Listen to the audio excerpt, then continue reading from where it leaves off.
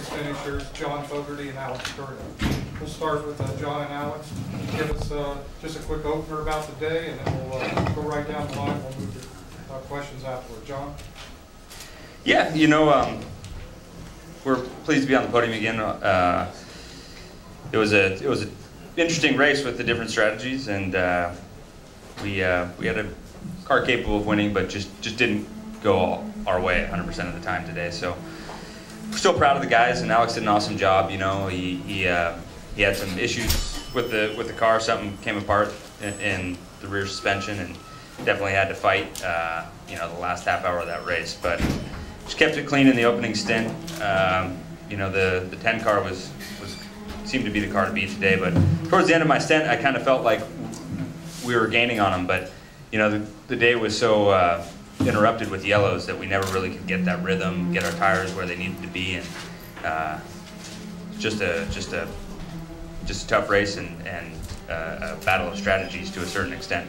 But nonetheless, uh, we had a, a car capable of, of moving up through the field and getting on the podium, and happy about that. It's good to be on the podium, but uh, definitely not what we were looking for. Uh, definitely a very wild, uh, exciting race from the driver's seat. Um, you know, we, starting out on the pole, we definitely had the goal of winning. Uh, but yeah, again, like John said, uh, strategy didn't work out for us. Uh, when, when, things kind of shook out, I was behind the 10 car, and, and you know, they pitted and we didn't. And at that point, you know, we're on a different strategy, and we needed more we needed for not to go yellow. And uh, we were pitting on a specific lap, and uh, about halfway around that lap, it went yellow. So it destroyed our strategy. Uh, so we fell way back when, when everybody pitted. Um, trying to work my way back through the field. Uh, yeah, I, I, had something let go in the right rear. Um, I'm not sure what it is, but something definitely broke. Uh, but the car was still still quick. I had a really good fight with uh, Barbosa, uh, which was a lot of fun at the end, and with Scott a little bit. And um, anyway, podium, and uh, congrats to uh, all the winners. We'll move over to our race winning team. Enzo, quick uh, opener and. Uh, yeah, no, yeah. It's unbelievable. I mean, I can't believe I'm here, surrounded by these people, surrounded by three my teammates. Like, you know, it's all his work.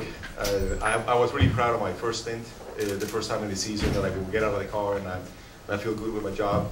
And I kept a really good pace. And I handed the car to him, you know, hoping for the best. And it was amazing. And the, we almost didn't make it to this race. I mean, we were, we were, the first thing I told him was, I can't believe a week ago we were sitting on a table to see if we could make it here. And, and see how, and, and look what happened. I mean, we, we ended up having a good competitive car. Ryan doing an excellent job and just you know, see looking at the race from from the side of the wall was unbelievable. I mean, it's, I couldn't I couldn't breathe, couldn't swallow anything. I mean, I couldn't drink, couldn't do anything. You I was just holding my breath the whole way, and it's just amazing. I mean, this teammate is just everything for us, and I mean, the team is on his shoulders, and we're really proud of having him in here. All right, Ryan, you get to follow that one. That's pretty good. Go ahead.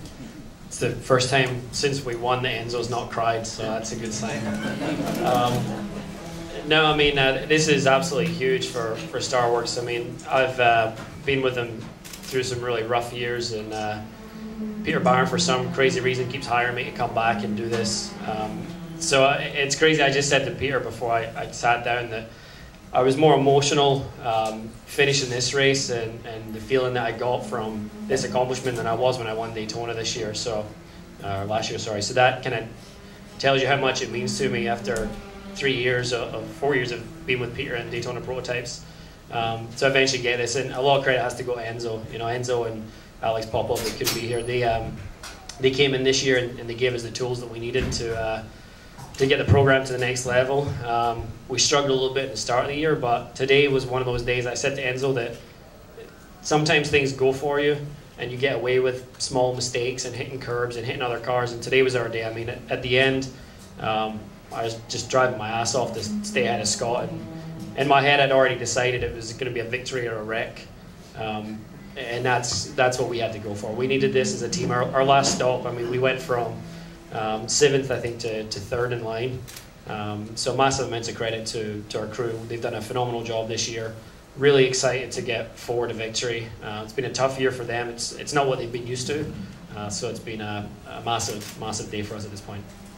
All right, today's second place finisher, is Scott Pruett, Memo Rojas, repeated as the uh, Daytona Prototype Champions. For Scott, his fourth championship in the series, and for Memo, his third. We'll start off with Memo. Quick opener for Scott. Uh, well, um, hi everybody. Thanks for being here.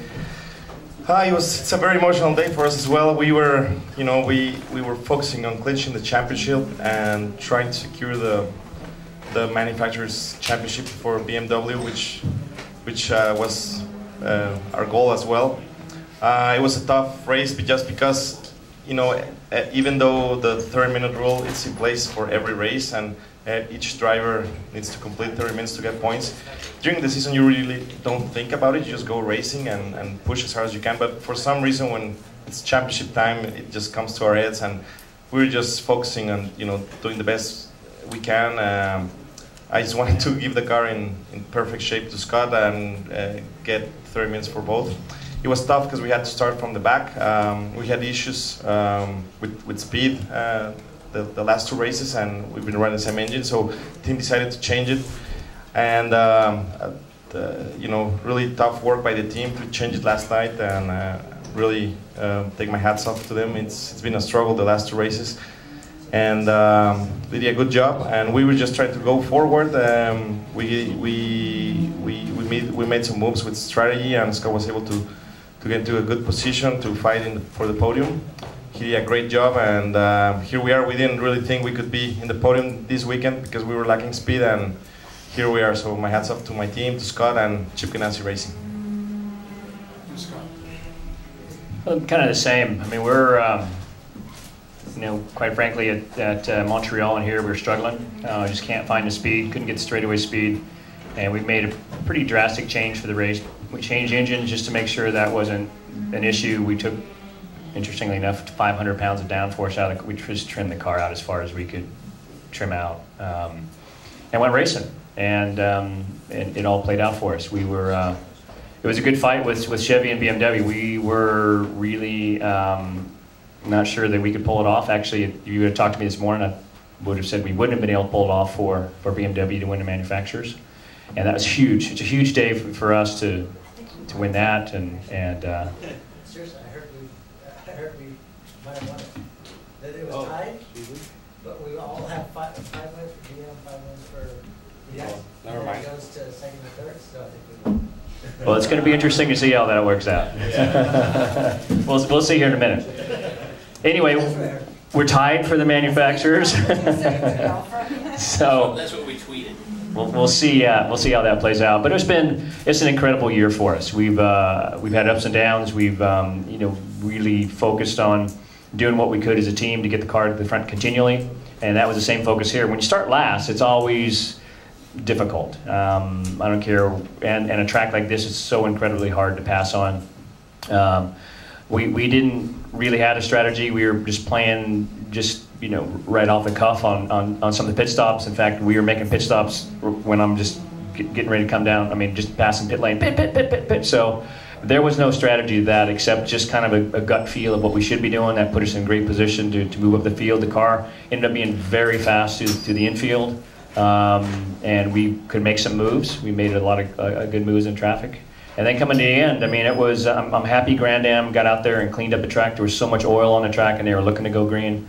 Uh, I'm happy with the fact that they got out there and got the, the Mid Ohio guys to put oil dry down. Otherwise, it would have been just a horrific crash going into there. Um, and uh, all said and done, it's just been a great, great season. We'll take questions now for a podium. Just uh, have a question, raise your hand, jump in. Scott, where does this championship rank compared to all the others? They're they're all great. I mean, without without question. And it's I think this, quite frankly, I never thought I'd still be winning championships at this point in my career. So um, going out there every weekend, you know, I'm just you know, the good Lord has blessed me on having a you know just a longer career than I could ever imagine. And um, they're always every victory is sweet.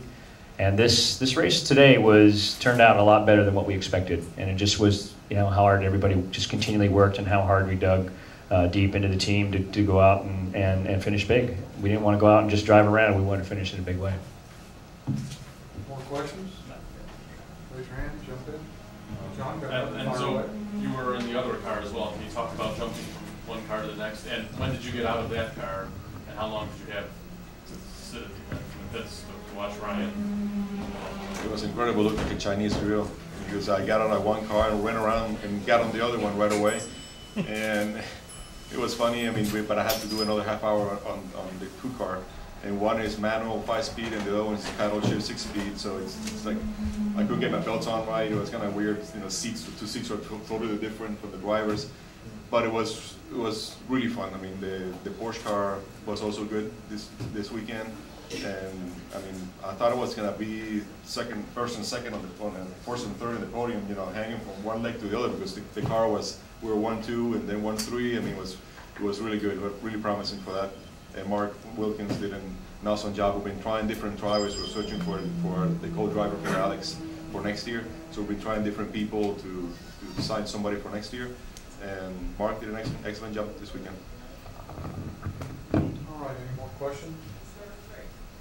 All right, guys, congratulations, outstanding. Thanks, guys.